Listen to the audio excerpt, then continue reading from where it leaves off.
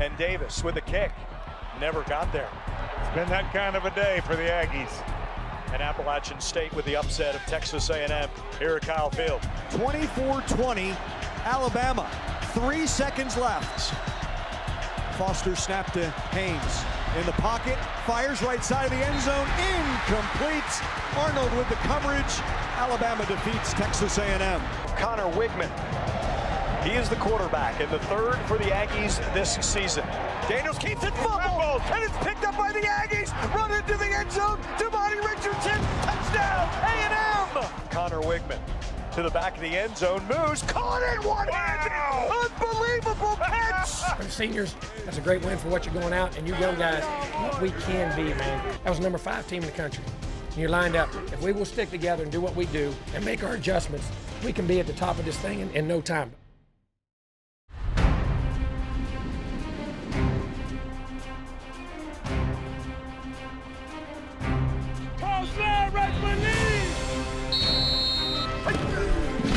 That's it. Next. Hey. G. G. Oh, good. It's a beautiful Saturday here at Kyle Field. I want y'all to feel this today, man. Trust yourself right now. Let go have fun. Turn it loose.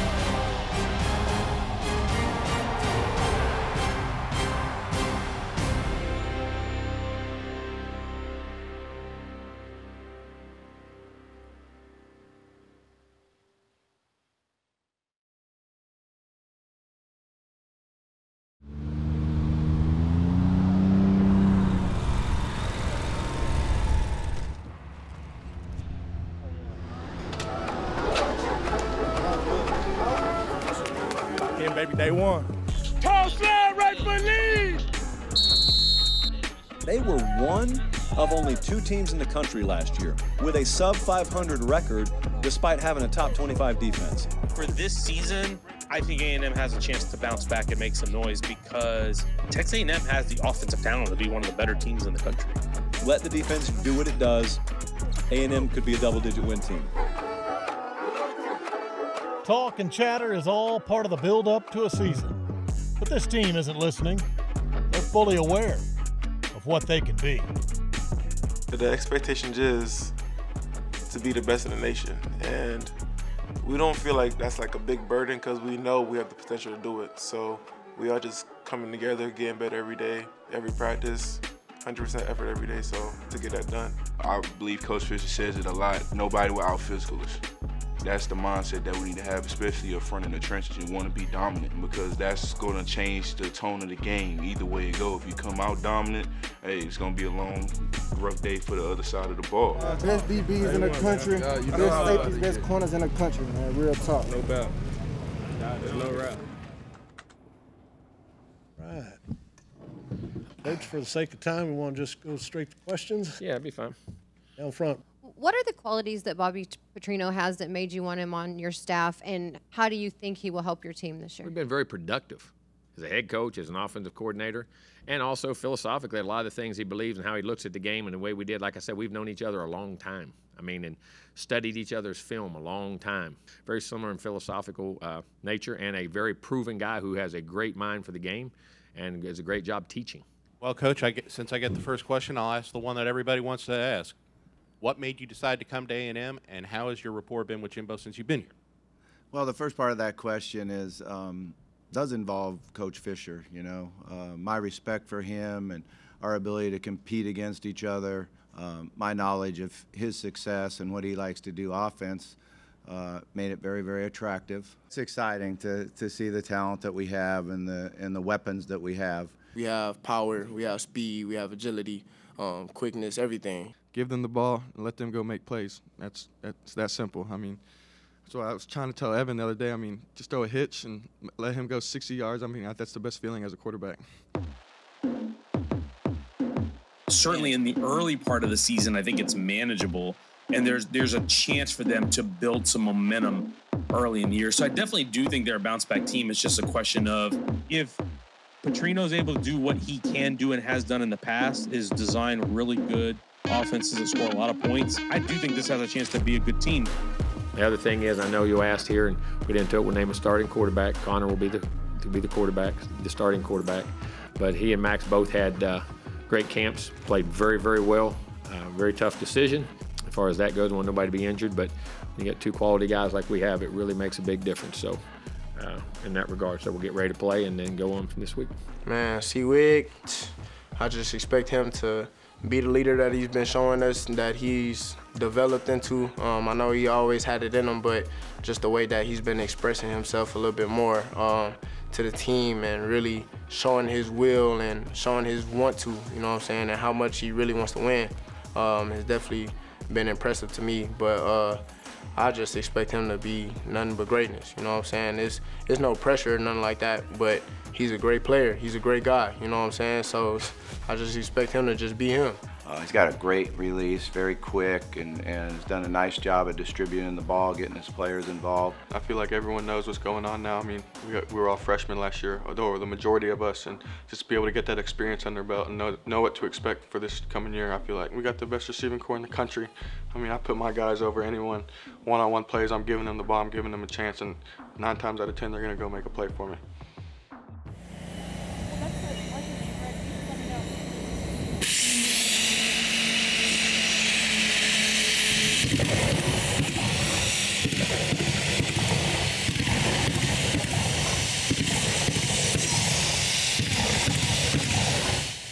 There's a new flair to how the Aggies will enter Kyle Field in 2023.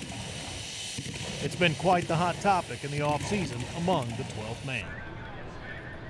Amid the tweaks, some of the old staples will still be there. Ready and now.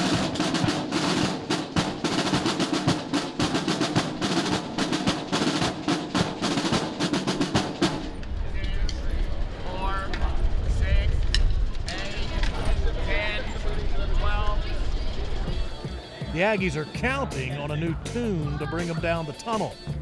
So they called on an Aggie. Colin Padalecki, class of 20, will provide the instrumental. These days, he's part of a popular, versatile music duo. When I say Kyle Field, what's the first thing that comes to your mind? energy.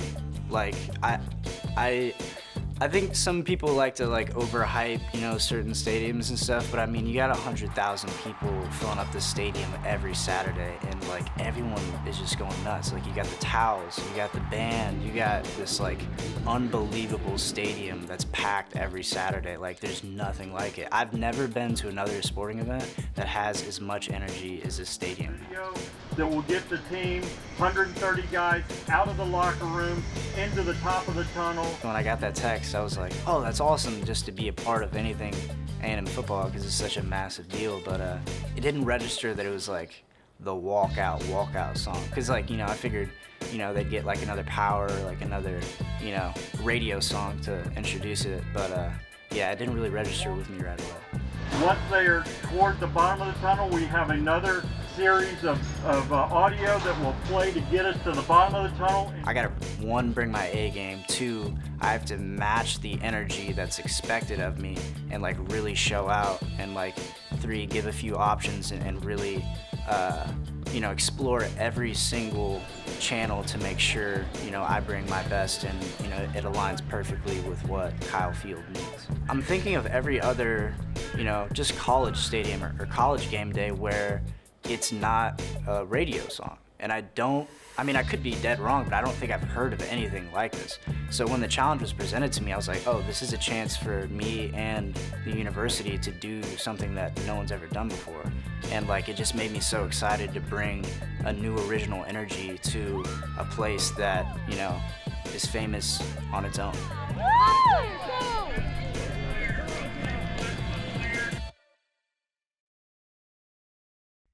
The Pulse, Texas A&M football, is presented by 44 Farms, the official beef of Texas A&M athletics, and ABC Home and Commercial Services, official pest control partner of Texas A&M athletics.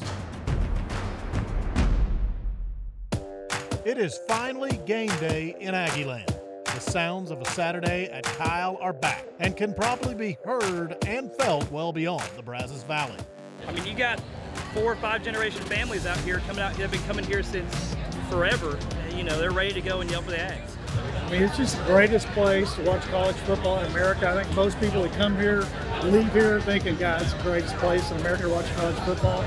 So we're ready, man.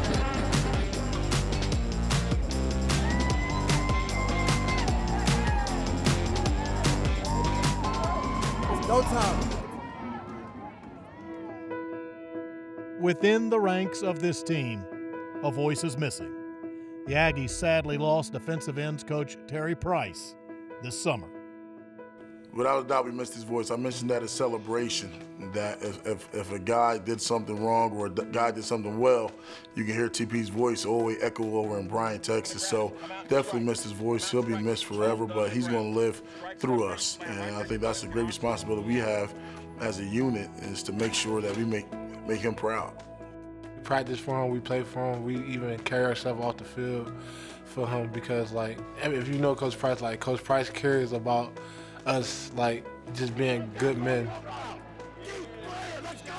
You know, when I first got out there, it's kind of difficult because, you know, TP was like my closest friend on the staff. You know, it's hard.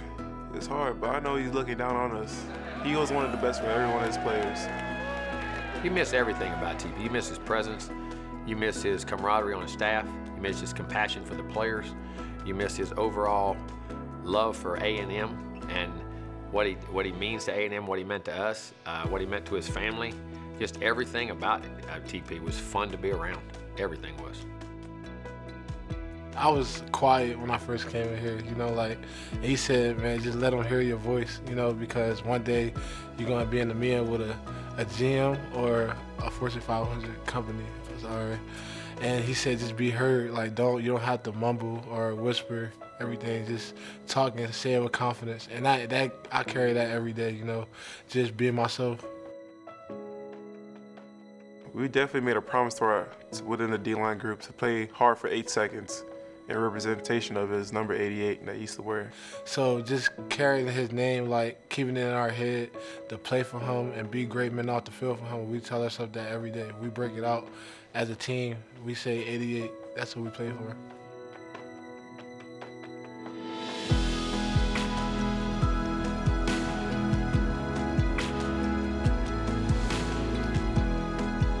wear these. Understand why we wear them.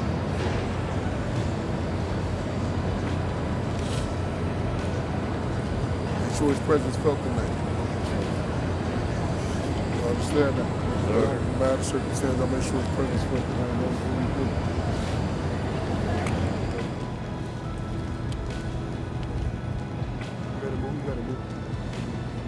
Eddie on me, Eddie on three. One, two, three. Hey, hey. Gone but forever within the hearts of this team. TP was an Aggie, wearing number 88 when he played in the maroon and white. And the D line will play for him this season.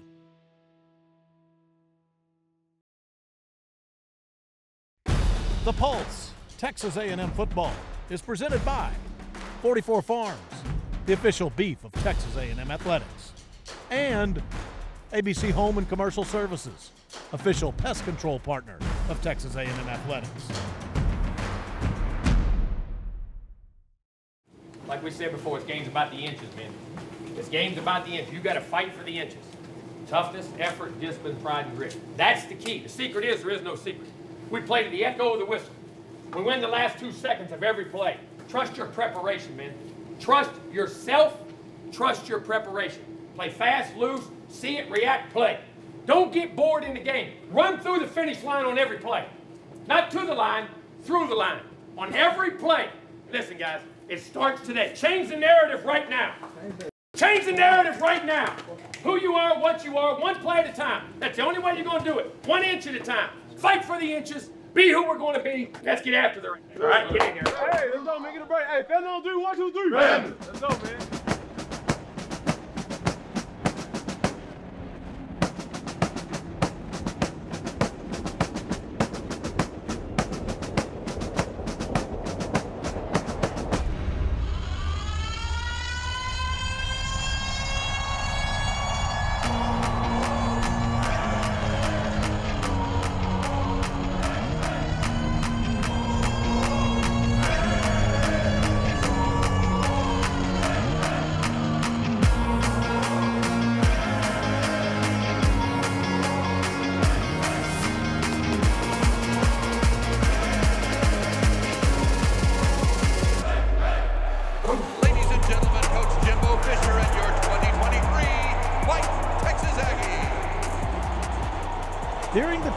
Entrance, the pyrotechnics would not quite light up. No worries. The fireworks show would begin just a bit later when the Aggie offense stepped on the field. Weigman's first pass. He tucks, runs up the middle. 25, 30, stumbles, regains, steps back outside the hashes to the 34 yard line. Have to learn. Conner Weigman can run the football.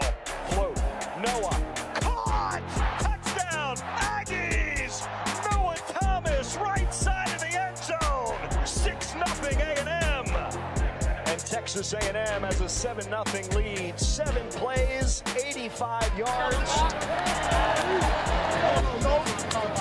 I need three of them. Avoid, no. That's how we do it. That's one. And out of the backfield, caught Jacory Merritt. Hit by Edgerrin Cooper shy of the 20-yard line. When Coop hits you, you feel it. Footwork, stay square. Good footwork, stay square. And finish. Fight the finishes. Fight the finishes. Let's go.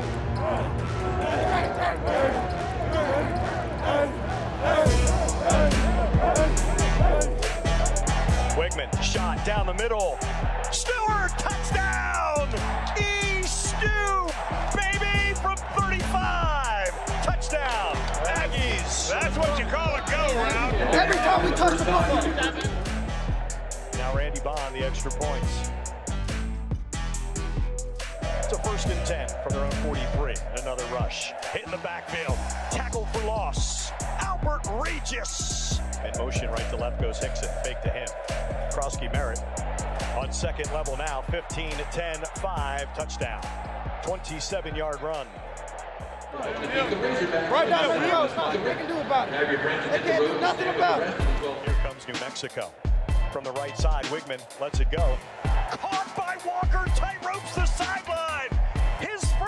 first catch an Aggie is acrobatic. Weigman shot right side. It is caught by Noah Thomas for a touchdown in the right side of the end zone. 34 yards to Noah, his second of the game. Legendary, man. Legendary. That's what I'm talking about. 20 to 7 A&M with an extra point from Randy Bond. From their own 25, Hopkins throws left side, too high, incomplete. And fielded at his own 33, right up the middle, 45 in midfield, across midfield at the 40. Amaya still on his feet, keeps his balance, comes to the outside, jukes inside, inside the 25. We finna score right here, though. Watch. Third and one from the one. Stumbling. Give What I 47 bangs it through. Pocket collapses, so he rolls to his right. Hit as he throws intercepted. Josh DeBerry with the pick at the 36 yard line. The pressure leads to the pick. Let's go. First and 10 to the Aggies. Weigman to the end zone. Floats for Noah.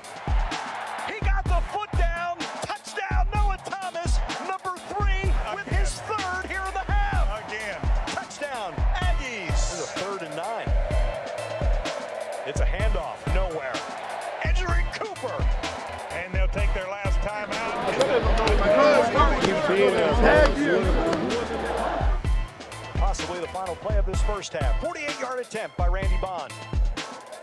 Blocked into the New Mexico sideline.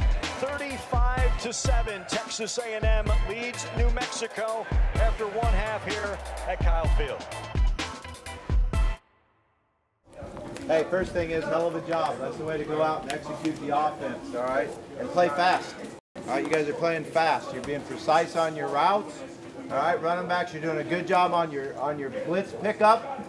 All right, just eliminate the one holding. But other than that, man, we've had some great pickups, which is allowing us to throw the ball down the field. You've got to dominate this second half. You understand what I'm saying? Yes, sir. One play at a time. Don't get sloppy. Don't get greedy. Fundamentally sound alignments, assignments, technique, toughness, effort, discipline, pride, and grit. Every damn play.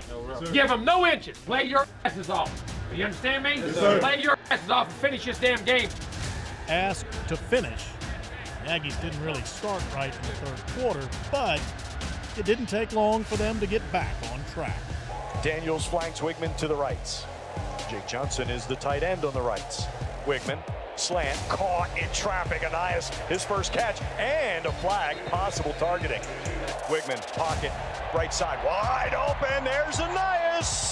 Dragged out of bounds at the 20-yard line, a 27-yard gain. Back-to-back catches for Ainias. Three receivers all to the left side. Weigman fires left side. He's got Evan again. Touchdown, Aggies. E. Stu, baby. They went right back to it. Went right back to the corner. This time he threw it on time. Perfect throw. Touchdown, Aggies. Nick rolls to his left. Boots a sideways spinning to the 35-yard line. Wysong. And he's taken down by who else? Number 12, the 12th man, Sam Matthews. Boy, he got down there quick. Christian Washington, the back in the pistol. Hopkins sacks. Shemar Turner him down at the 28-yard line. So from the 39 of New Mexico, Rueben Owens right side, around the right end, stays on his feet as he broke a couple of tackles and all the way to the 25-yard line, a 14-yard gain for Rueben Owens. On a second and eight from the 12, Max spins to his right. The left-hander throws on the run, complete to Moose. Moose avoids a tackle